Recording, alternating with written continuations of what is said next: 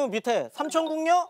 의자왕. 어우 다 하시네요. 근데 왜 의자왕이에요? 의자를 좋아했어요? 어 이런 질문 너무 좋아요. 어. 방금 내가 뭐라 그랬죠 제가?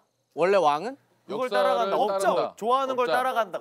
아들내미. 그렇죠. 월- 그 다음 왕이 네. 의자왕은 백제의 마지막 왕이거든요. 붙여줄 사람이 없잖아요.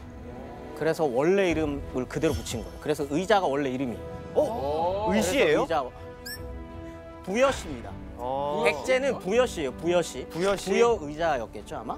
아 근데 저는 처음에 그렇게 생각했어요. 의자 삼천궁녀 의자왕이라 그래갖고 뭔가 삼천궁녀를 뭔가 거느렸던. 그게 사람들이 생각하는 위인들을 생각할 때 이렇게 좀 잘못 알려진 사실들이 있잖아요. 네. 그 중에서 가장 대표적인 것도 요거죠. 어. 삼천궁녀가 떨어졌었던 절벽 저그 갔었어요 어디 어렸을 어디죠? 때. 거기 어디죠?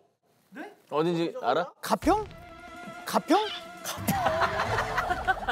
거기 그 서핑하는 데잖아. 왜 activity 하러 갔니? 아니 아 그거 있어요 저 유람선 타면서 아저 가이드 선생님이 금강. 금강. 야, 야, 오 너무 잘하시는데. 뭐야? 어떻게 알았어요? 저희 집이 저 금강 옆에였어요. 대전에. 아 충청도에서 거기서 그 요트를 한번 타고 들어갔는데 절벽이 엄청난 게 있더라고요. 거, 거기서 들었어요. 의자왕이 저기서 뛰었다. 알고 있네요. 왜, 왜 뛰신 거예요? 왜 뛰신 거예요? 의자왕이랑 같이 뛰었어? 삼천궁녀랑? 삼천궁녀가 같이 뛰어냈어요. 멸망하기 멸망 멸망하기 멸망 어디서 어디 안 해. 멸망할 때 같이 의리 지킨다고 에? 같이 뛴 거잖아요.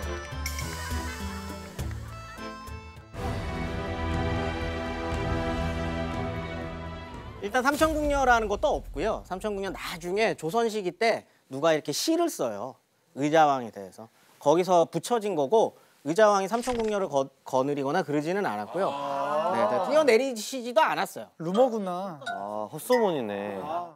그러면 낙화암에서 궁녀들이 뛰어내린 건 사실이에요? 그런 것도 없죠. 그런 것도 사실이 아, 아니죠. 만들어진 얘기예요? 네, 네, 네. 아. 그다음에 의자왕이 왜 그런 이미지가 있냐면 나중에 되면은 죽으세요? 어디 나중에 되면은 죽으세요? 어디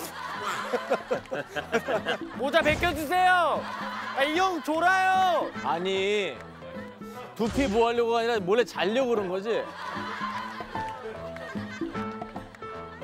근데 거기, 거기 가 이제 말년이 되면은 사치와 향락에 좀 빠져요. 사치와 향락에. 아 그러니까 노는 건 노는 좋아하셨구나. 거를 이제 좀 좋아하고 이렇게 되다 보니까 그런 게 이제 이미지가 붙은 거죠. 그다음에 실제로 아들이 한 40명 돼요.